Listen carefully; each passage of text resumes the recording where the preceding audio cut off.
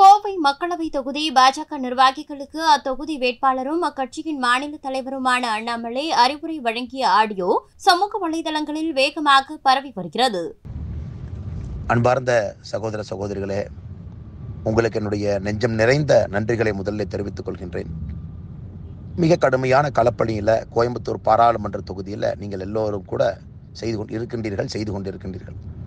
காலை ஏழு மணிக்கு ஆரம்பிக்கின்ற உங்களுடைய உழைப்பு இரவு பத்து மணி வரை எந்தவித எதிர்பார்ப்பும் இல்லாமல் பொதுநலமாக பாரத பிரதமர் நரேந்திர மோடி அவர்கள் நானூறு பாராளுமன்ற உறுப்பினர்களோடு மூன்றாவது முறை அமரும் பொழுது கோயம்புத்தூரிலிருந்தும் தாமரை மலர வேண்டும். அதன் மூலமாக கோயம்புத்தூருடைய வளர்ச்சிக்கு பாரத பிரதமர் நரேந்திர மோடி அவர்கள் துணை இருப்பார்கள். உங்களுடைய அன்பு தம்பி அண்ணாமலையை வெற்றி பெறச் செய்ய வேண்டும் என்று நீங்கள் கடுமையாக உழைத்துக் கொண்டிருக்கின்றீர்கள். உங்களுடைய அர்ப்பணிப்பு உங்களுடைய உணர்வு உங்களுடைய உழைப்பு நிச்சயமாலும் என்னை மெய்சிலிருக்க வைக்கிறது. அதே நேரத்தில் அன்பு சகோதர சகோதரிகளே அடுத்த பத்து நாட்கள் நம்முடைய களப்பணி மிக மிக முக்கியம். நாம் எல்லோரும் கூட களத்தில் நம்முடைய உழைப்பை இரட்டி காக்க வேண்டிய தருணம் இரட்டிப்பு செய்ய வேண்டும் நிறைய மக்களை சந்திக்க வேண்டும் நிறைய வீடுகள் ஏறி இறங்க வேண்டும் நிறைய நெஞ்சங்களை தொட வேண்டும். எல்லா மனிதர்களிடம் கூட தாமரையை பற்றி மோடி அவர்களை பற்றி உங்கள் அன்பு தம்பி அண்ணாமலை பற்றி நீங்கள் பேச வேண்டும். நமக்கு ஏப்ரல் பதினேழாம் தேதி வரை உங்களுடைய உழைப்பு இருக்க வேண்டும். பத்தொன்பதாம் தேதி தேர்தல் நாள்.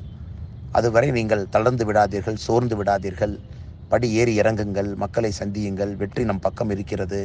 காரணம் இந்த வெற்றி என்பது தனி மனிதனுடைய வெற்றி அல்ல சாமானிய மனிதர்களுடைய வெற்றி. அதனால் இவ்வளவு கடுமையாக நீங்கள் உழைக்கும் பொழுது உங்களையும் கொஞ்சம் பார்த்து கொள்ளுங்கள்.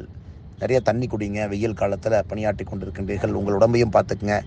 சமீபத்தில் மஞ்சுளா அவர்கள் கீழே விழுந்துட்டாங்க அதை கே கேள்விப்பட்ட பொழுது எனக்கும் ஒரு மாதிரி கஷ்டமாக போயிடுச்சு போயிருச்சுங்க. அதனால் மஞ்சுளா அவர்களை கூட தொடர்பு கொள்ள முயற்சித்தேன். அவங்களுக்கு ஒரு மெசேஜும் ட்ராப் ட்ராப் பண்ணியிருக்கேன். கூப்பிடுவாங்கன்னு எதிர்பார்க்குறேன். அதனால் தயவு செஞ்சு கேர்ஃபுல்லாக இருங்க. அதே நேரத்தில் களப்பணியிலையும் கவனம் கொடுங்க.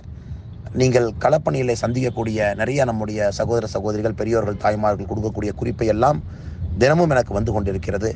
அதையெல்லாம் கூட கவனத்தில் எடுத்துக்கொண்டு செயல்பட்டு கொண்டிருக்கின்றோம் என்பதையும் இந்த நேரத்தில் தெரிவித்துக் கொள்கின்றோம். சோ- சோர்ந்து விடாதீர்கள் தளர்ந்து விடாதீர்கள். உ- உழைப்பை இரட்டிப்பாக்குங்கள் வெற்றி நம் பக்கம். நன்றி வணக்கம். செய்திகளை உள்ளது உள்ளபடி தெரிந்து கொள்ள ரெஃப்ளெக்ட் நியூஸை சப்ஸ்கிரைப் பண்ணுங்க.